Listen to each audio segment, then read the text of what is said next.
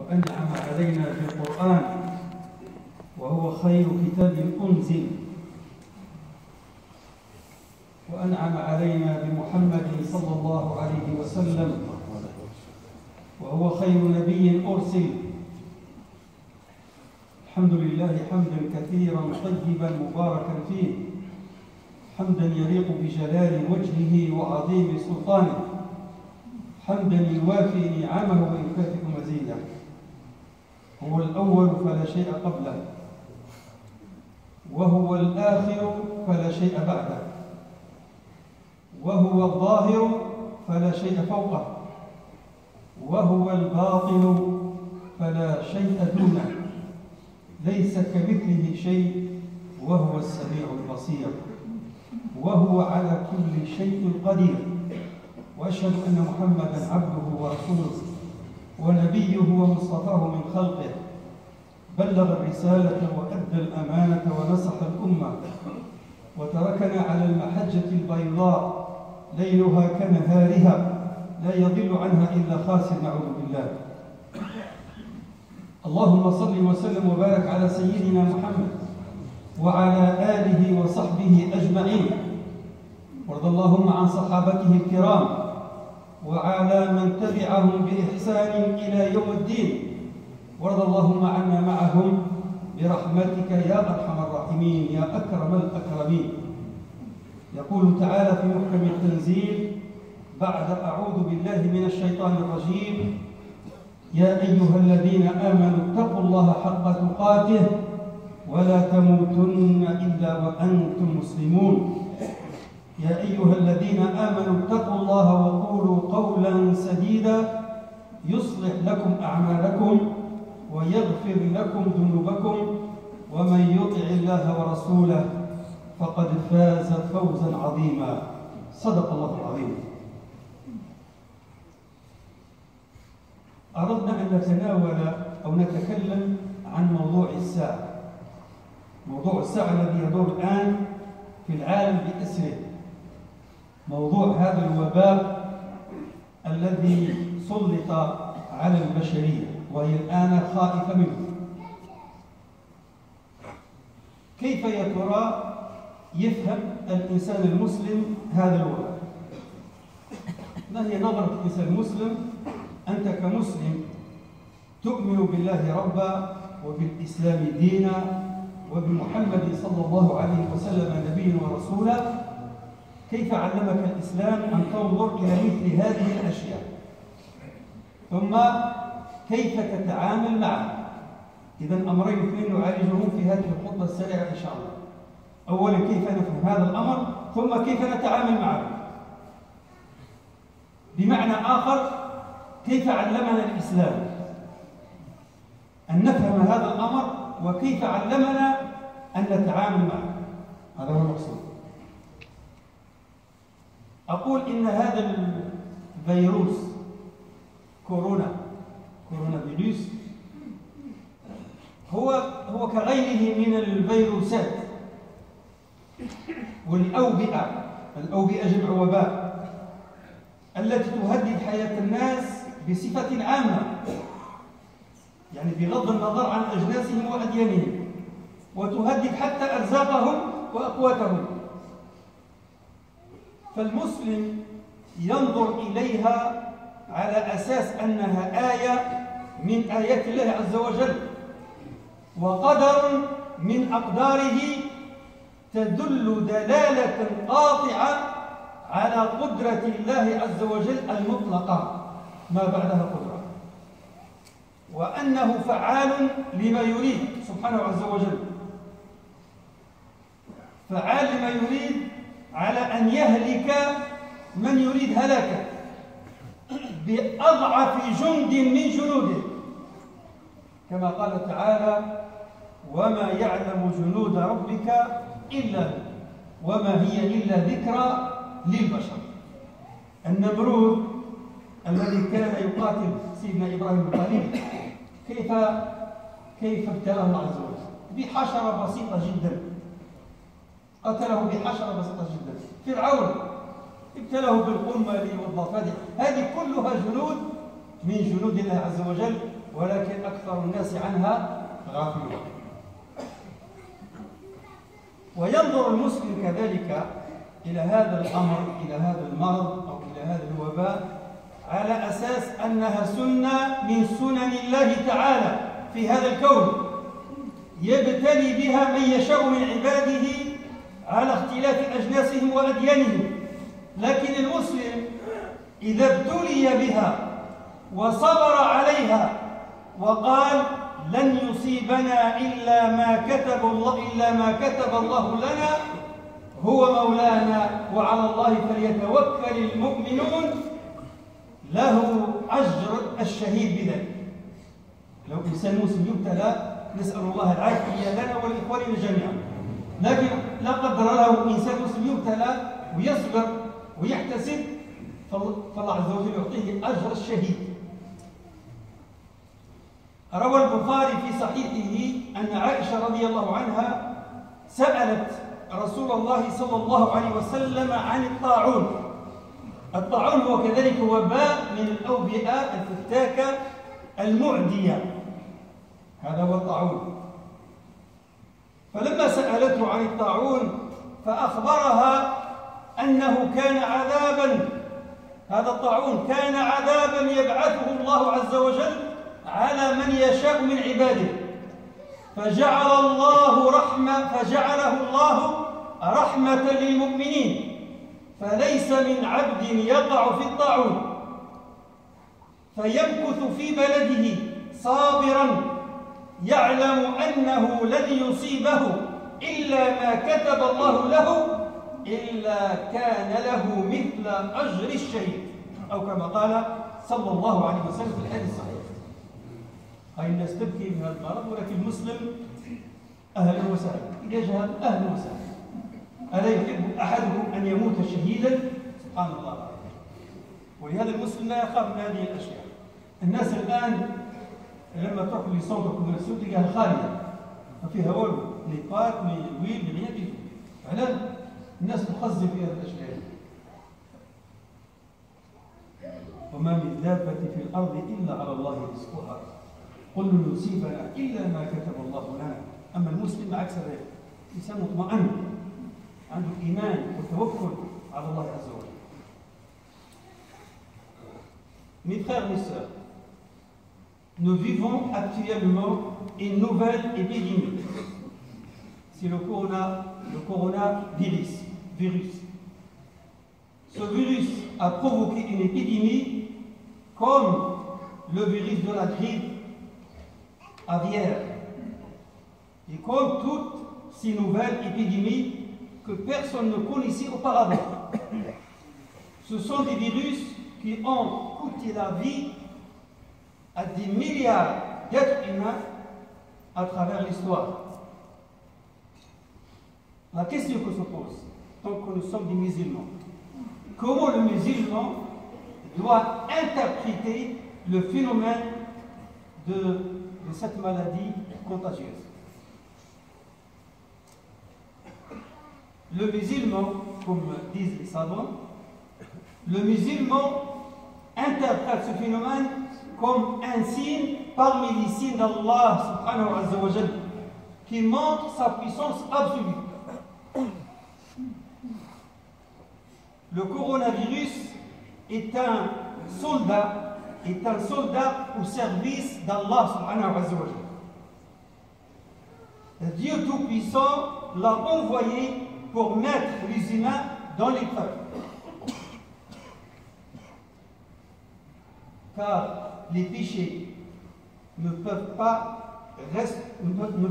rester, ainsi sans punition dans la vie d'ici avant le dollar.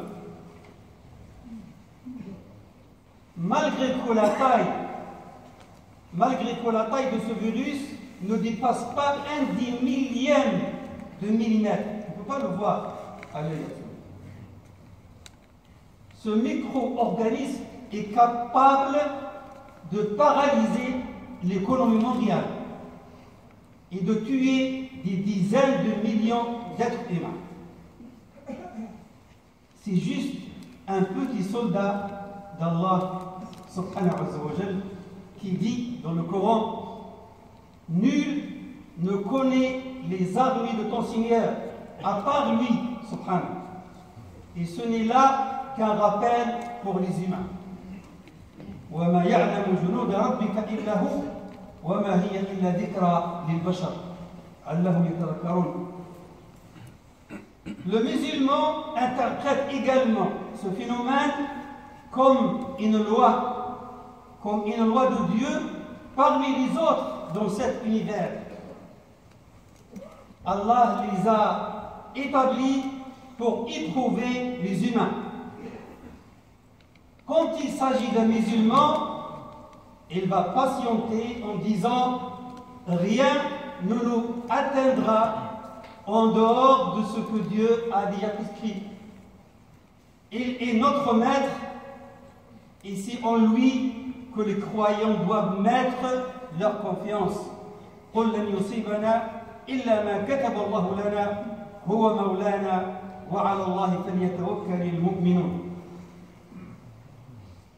Si le musulman fait cela, il aura la récompense d'un martyr tué dans la voie d'Allah subhanahu wa. Écoutez ce hadith sahih rapporté par l'imam al-Bukhari que Aïcha radiallahu anha a interrogé le prophète sallallahu alayhi wa sallam au sujet de la peste à Ta'oun. Il l'a informé qu'il s'agit d'un châtiment envoyé par Dieu sur les humains. Quand une personne atteinte par la peste reste dans son pays avec patience en croyant que rien ne l'atteindra en dehors de ce que Dieu a déjà prescrit. Cette personne aura la récompense d'un martyr tué dans la voie d'Allah subhanahu wa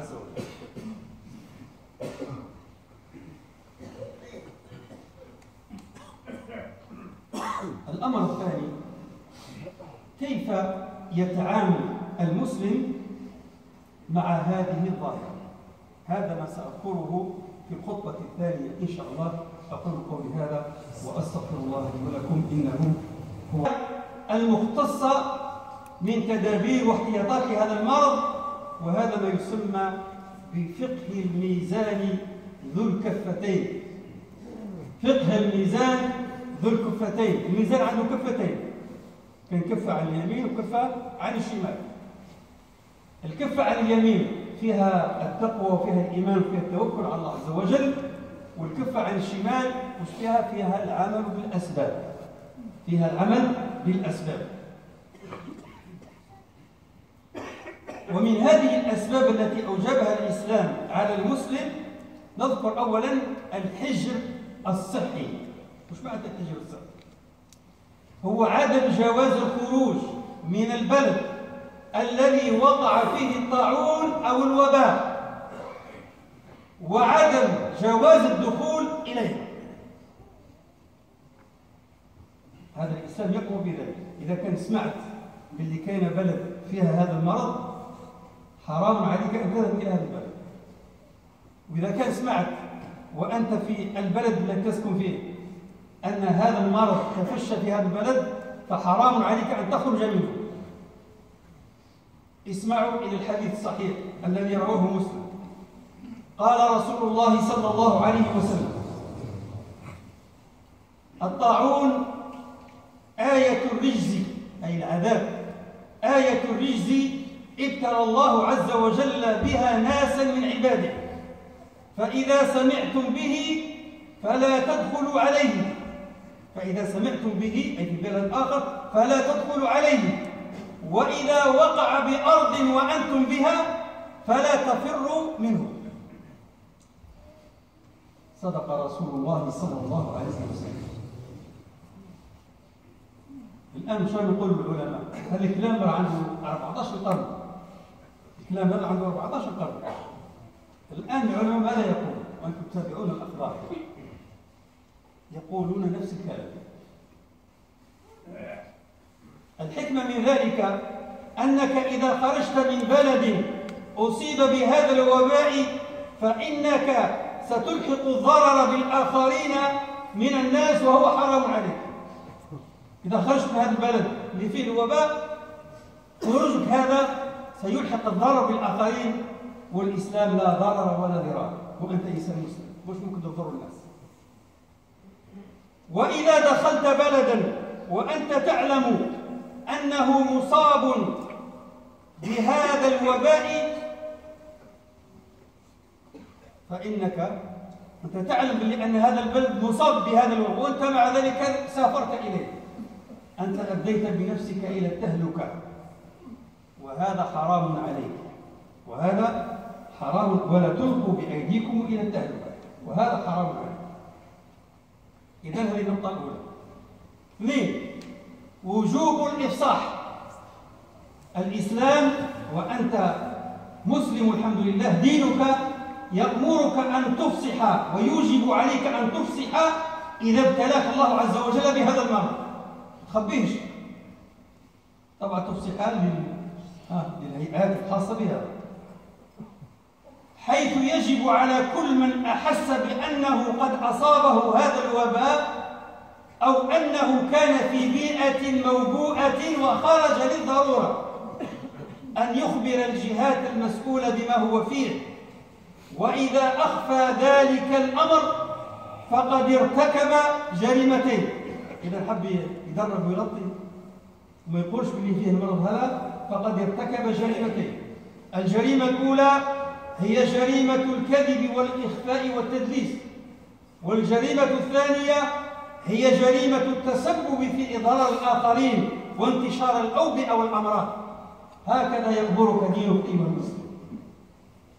وكل من يصيبه هذا المرض بسبب هذا الإنسان يتحمل قسطه من الإثم والعدوان لأن المسلم من سلم المسلمون من لسانه ويده كما قال النبي صلى الله عليه وسلم.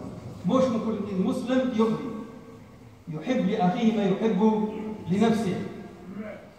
ثالثا الأخذ بالحذر والحيطة الأخذ بالحذر والحيطة والعمل بنصائح وإرشادات الجهات المعنية والمتخصصة في الصحة وخاصة فيما يتعلق بالنظافة. ولا أريد أن أطيل في هذا لأن الوقت لا يتسع وأنتم تعلمون ذلك وكاين ديزافيش وكاين الأمور موجودة يعني في كل في كل مكان. وإنما واجب على الإنسان المسلم أن يأخذ الحذر والحيطة من هذا المرض. رابعا الإكثار من الأدعية. وهذه عادة ما الإنسان ينسى هذا الأمر. أنت عندك يقين وعندك عقيدة في الله عز وجل وأنه هو الضار وهو النافع سبحانه عز وجل. لا يستطيع أحد أن يضرك إذا كان رب العالمين مش مكتب لك أمر. ولا يستطيع أحد من البشر أن ينفعك إذا كان رب العالمين مش حد ينفعك. كله بيده عز وجل. فلماذا تنسى أن تدعو الله عز وجل أن يحفظك ويحفظ أولادك وأهلك ويحفظ بلدك؟ ولهذا من الأمور المهمة الدعاء. أن الإنسان يكثر من الدعاء. والأدعية في هذا الباب كثيرة ولكن أذكر بعضها.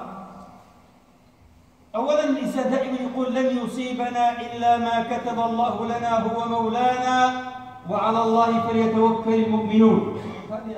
المؤمن اثنين بسم الله الذي لا يضر مع اسمه شيء في الأرض ولا في السماء وهو السميع العليم.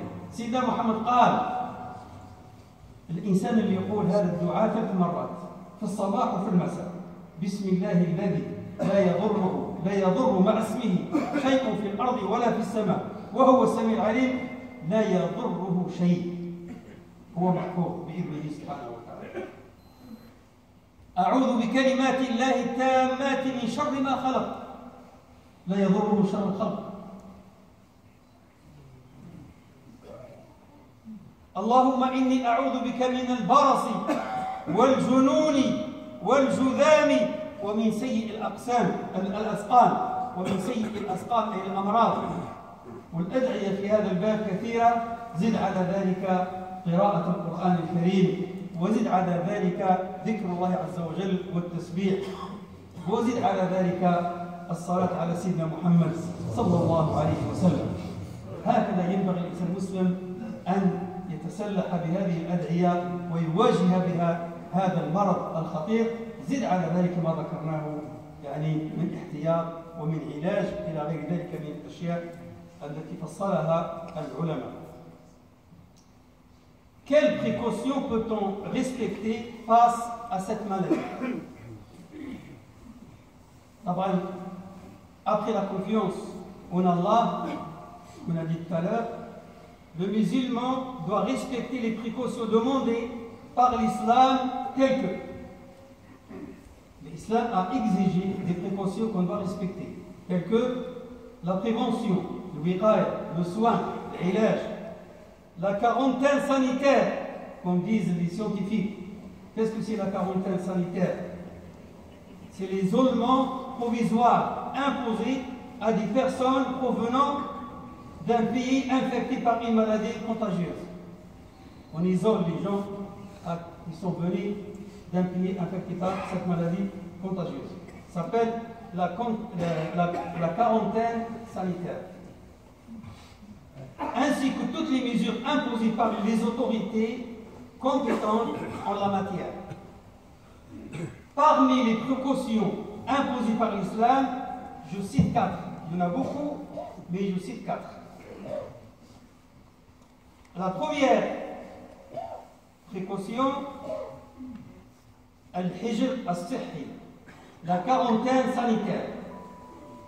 Car le prophète sallallahu alayhi wa sallam a donné l'ordre de prendre une mesure préventive qui indique qu'il est réellement un messager de Dieu. Écoutez bien, écoutez bien mes frères et sœurs.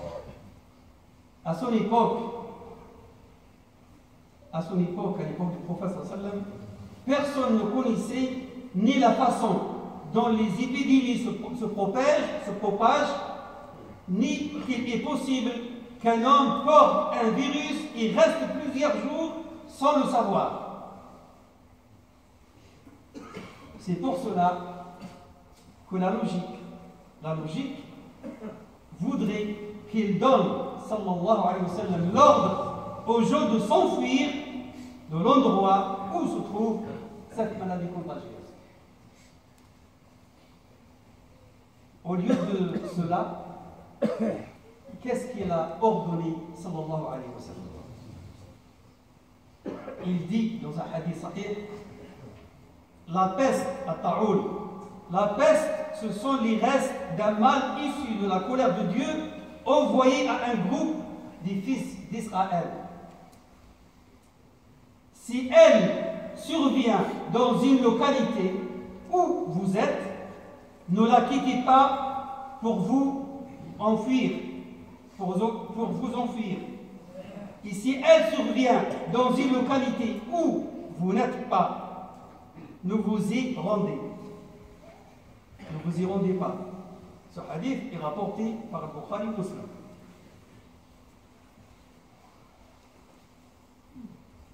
Exactement ce que les scientifiques appellent la quarantaine sanitaire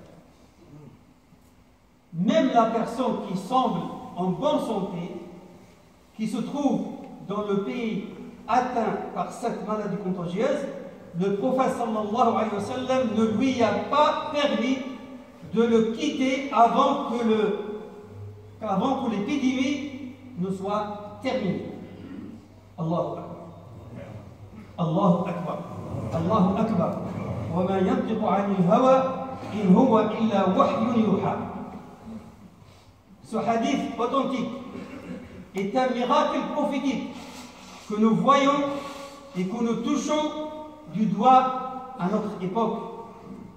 Il représente une méthode exacte de médecine préventive. C'est une avancée scientifique qui témoigne de la véracité de notre prophète Mohammed sallallahu et du message de l'islam. Quelle conclusion peut-on tirer de ce hadith? La première, si tu quittes un pays atteint par cette maladie contagieuse, tu vas exposer les autres personnes au danger. Et cela est interdit par l'islam. Deuxième conclusion, si tu rejoins un pays atteint par cette épidémie, c'est comme tu l'es et c'est comme tu t'exposais toi-même à la perdition et cela est interdit par, par l'islam. La deuxième précaution, le devoir de déclaration si vous êtes atteint par cette maladie.